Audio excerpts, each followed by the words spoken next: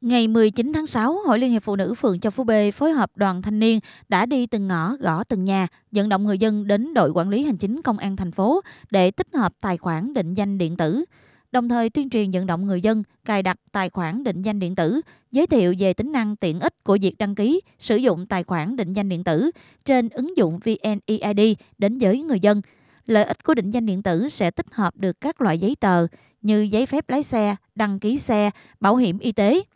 Từ đó, khi người dân giao dịch hành chính, sẽ giảm tối đa các giấy tờ phải mang theo.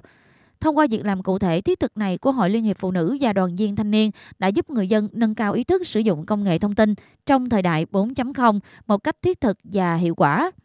Thời gian tới, phường Châu Phú B sẽ tiếp tục đẩy mạnh công tác tuyên truyền để giúp người dân được sớm tiếp cận và hưởng thụ lợi ích từ ứng dụng VNeID, góp phần hoàn thành mục tiêu chuyển đổi số quốc gia giai đoạn